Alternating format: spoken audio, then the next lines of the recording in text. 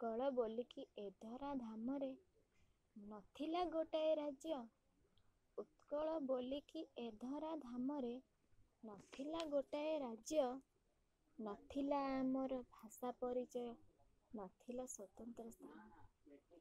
ଥିଲା ସେଇଦିନ ଏପ୍ରିଲ ପହିଲା ଉଣେଇଶି ଶହ ଛତିଶି ମସିହା ପ୍ରଦେଶ ଗଠନ କରାଇ ଉତ୍କଳ ନାମରେ ନୂଆ ପରିଚୟ ଦେଲା।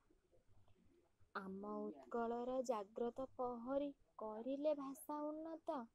ଓଡ଼ିଆ ପ୍ରଦେଶ ଗଠିନ କରିନ ବଢ଼େଇଲେ ଆମ ଖ୍ୟାତ। ଶସ୍ୟ ଶ୍ୟାମଳା ମନ୍ଦିରମାଳିନୀ ଫୁଲ ଫଳେ ଭରା ପୃଷ୍ଟ।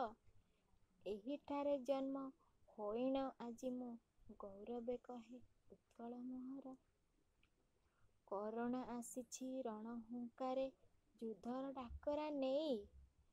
କରୋନା ଆସିଛି ରଣହୁଙ୍କାରେ ଯୁଦ୍ଧର ଡାକରା ନେଇ। ହେ ଉତ୍କଳ ବୀର କାହିଁ ଶୋଇଅଛୁ ଦଉଚୁକି ପଛ ଘୁଞ୍ଚା। ଏହି ପରିସ୍ଥିତିରେ ଏକା ତୁ ନୁହଁଇ ତୋ ସତେ ଅଛି ମୋ ଦେଶ। କରୋନାକୁ ତଡ଼ି ଦେଶରୁ ବିତାଡ଼ି ଆଣିଦେ ଖୁସିର ଲହଡ଼ି।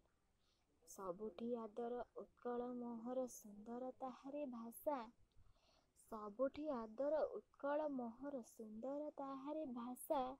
ସାରା ରାଇଜରୁ ଅନେ ଅନ୍ୟତମ ସୁନ୍ଦର ମୋ ଓଡ଼ିଶା। ସୁନ୍ଦର ମୋ ଓଡ଼ିଶା।